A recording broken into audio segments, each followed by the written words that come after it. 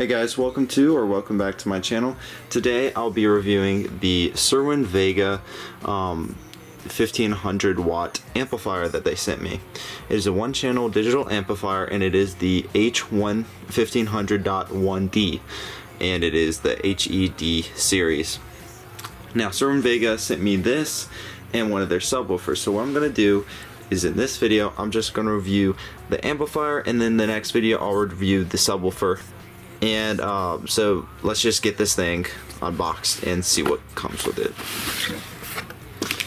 Alright, opening it up here you get a Cerwin Vega mobile sticker, which I really do like stickers, so I'll probably be adding that. Let's see. So you get a telephone cord connector. Let's take the let's take the actual amplifier out. So the telephone eh, telephone cord actually goes to this bass knob right here. So you can install a little bass knob with your with your um, amplifier. Now I already have a bass knob so I'll probably just be using that. And yeah let's get this thing out of the foam and I'll unwrap this. Alright taking it out of the the plastic right here. So let's see what we got. So this is the 15 the 1500-1D and it has four gauge it looks like it has four gauge inputs for speaker and ground and, power and one fan which I do like my fans in amplifier so that's good. And it also it also has a pr protect slash power right there. That this little thing right there. And remote power ground and let's twist it over and see what we got on the other side. Alright guys, so we have the RCA inputs, we have the um, turn on mode, I'm not sure what that is, uh, remote DC volt Vox, I'm not sure what that is. So we have the gain, X over, LPF, subsonic, and bass boost, and remote and clip. So, so for setting gains, I'm gonna in I'm gonna set my gains. I'll show you how to set gains um, down in the car. And yeah, this thing, this thing looks like a beast. It's pretty small. I mean, it is only a 1500, so it it should fit in my car pretty decently. And yeah, let's get this thing in the car. Alright guys, so I have connected the Cerwin Vega 1500 watt amplifier to the car and I'm gonna pop it up on the screen right now. These are the specs for this amplifier and here's where you can find it. So I'll give you a second to look at that. So it is 1500 watts RMS at 1 ohm. I think it's a 1000 at 2 ohm and 600 at 4 ohm. And it is like a 280 to $300 amplifier. And right now we are gonna tune it. So we're gonna set the gains and the clip meter I'm gonna use is that clip right there. I don't know if you can see it. Yeah, right there. So let's set these gains. All right guys, so we're just gonna do a 38 Hertz frequency um, and adjust the gains. So we're gonna go until right below clipping. So let's do this.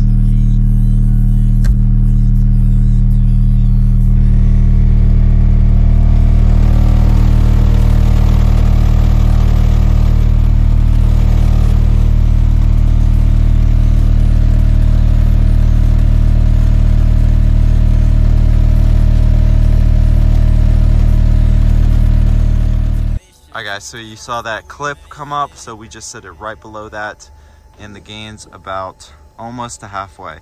Uh, our LPF is set to about a fourth, subsonic off, bass boost off, and yeah, let's let's see what this amp can handle. Guys, here's the um, test that we're gonna do. So I got my S&D meter right there, and we're just gonna play Rockstar by um, Post Malone.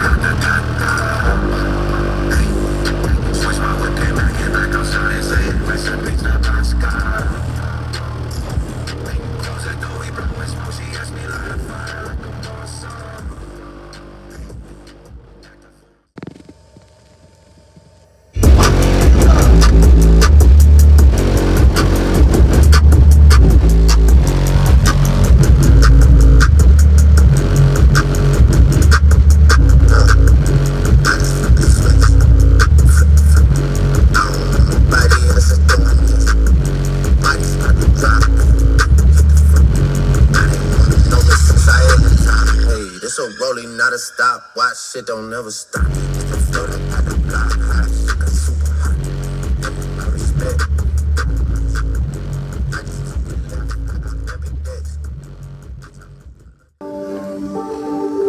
I. Got.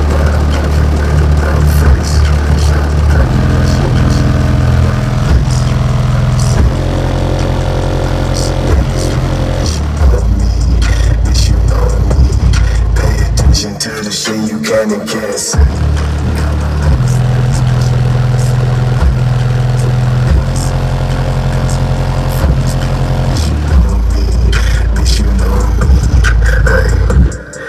so numb.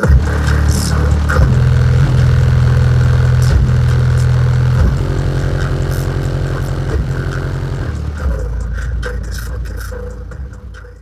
My ohms are rising up to two ohms. It's it took down the one ohm though, and um, so far it's only gone to a max of 600. So I don't know if the um, Cerwin Vega folks got this amplifier, maybe miss um, this amplifier, but it's not going above 600 on any of my songs even at 2 ohms. So 2 ohms would be like a 1000 RMS. It's not getting to a 1000 RMS. And um, maybe they miss, maybe they uh, miscalculated their numbers, but it sounds really good. And maybe it's just like they included clipping because if it clipped, I bet it could get to a, a thousand watts. But anyways, guys, if you like this video, like, comment, subscribe, and I'll see you in the next one. Peace.